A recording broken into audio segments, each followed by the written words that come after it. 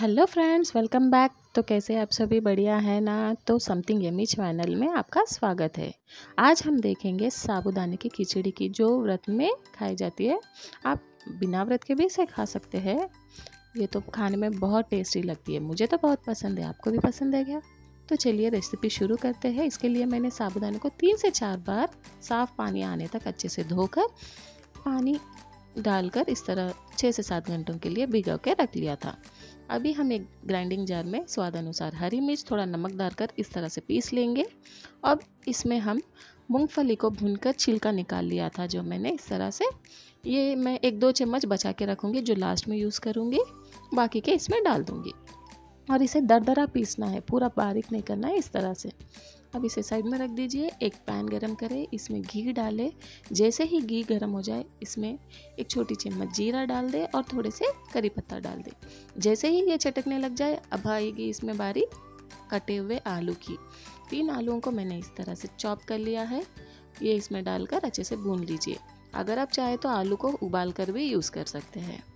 पर मैं आज इसे कच्चे आलू से ही बता रही हूँ। देखिए बीच बीच में चलाते हुए आलू को अच्छे से गल जाने दीजिए। तब तक जो साबुदाना है इसे मैं एक फोर की सहायता से हाँ सब सारे दाने अलग कर लूँगी। देखिए, आलू हमारा गलने वाला ही है। तो और जल्दी गला देंगे थोड़ा सा नमक डाल देंगे। नमक देखिए के डाल दीजिएगा, क्योंकि हमने थोड़ा सा हरी मिर्च में भी डाला है। अब देखते हैं आलू गला है कि नहीं। एक आलू को मैं तोड़ रही हूँ, देखिए, अच्छे से गल चुका है। और क्या? अब इसमें जो हमने हरी मिर्च और फल्ली का पाउडर किया था, वो डालकर अच्छे से दो मिनट भून लीजिए, वो वीडियो स्किप हो गया था सॉरी देखिए, अभी साबुदाने को डाल दीजिए, डालकर इसे अच्छे से मिला दीजिए साबुदाने को बीच बीच में चिलाते हुए पका लीजिए। साबुदाना जितना अच्छे से आप धो के भिगाएँगे ना, उतनी अच्छी से आपकी खिचड़ी खिली खिली बनेगी। मुझे इसमें थोड़ा की कम लग रहा था, इसलिए मैंने थोड़ा और डाल दिया।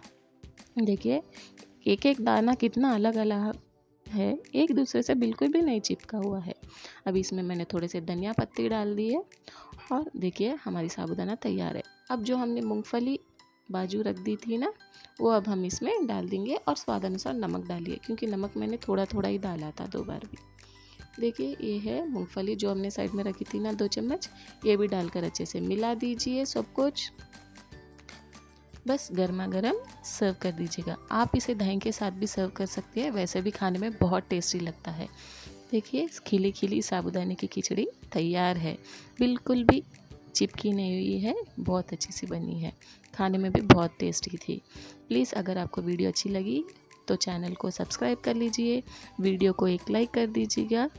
Thanks for watching let's meet in another video don't forget to subscribe bye